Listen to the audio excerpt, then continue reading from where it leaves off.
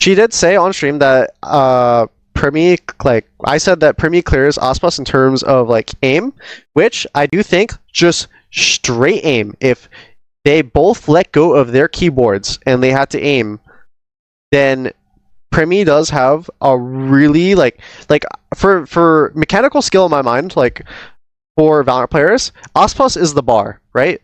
So when I said that, I'm like thinking of like the reason why I'm comparing Aspas is like because Aspas is the bar that's set for like the highest mechanical ceiling. But I will say, okay, first off, if you're gonna rate the players, Aspas basically clears them in every single category, team play, um, and op aim. I think, but I think for rifle aim, Primmie has that right there. I think his fucking rifle is insane, and I don't really say this about people that often, but I actually think with the right mentorship, like that could be like a a simple level talent right there. Like definitely could be because you can't teach someone to have fast reaction times. You can't teach someone to have good aim. Um, so I think a player like that, if you can develop them, they would just be fucking insane.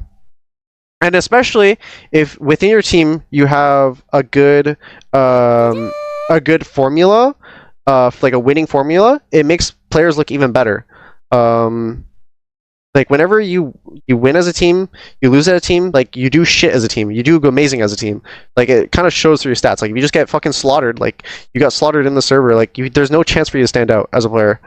Um, but uh, like basically, yeah, there's like there's a lot of players like that. Um, and I still I still agree with that statement, but I think that um in terms of every other like skill point at this moment's time, yeah, obviously Aspas is better. Yeah, uh, like undoubtedly, like he was voted the best player um, of this year. So I mean, rightfully so. He's an amazing player.